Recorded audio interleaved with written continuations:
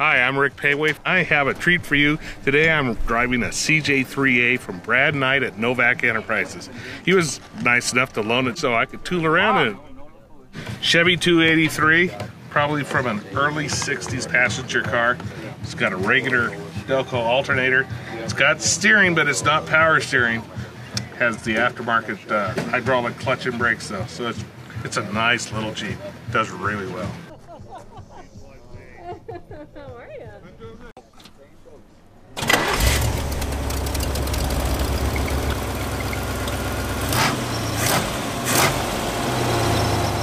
I mean, this is great. It's a 283 with a Ford T18 transmission, dual PTO, forward and rear. That's pretty rare option, but that's what it has. Of course, there's your four-wheel drive in and out. There's your low range.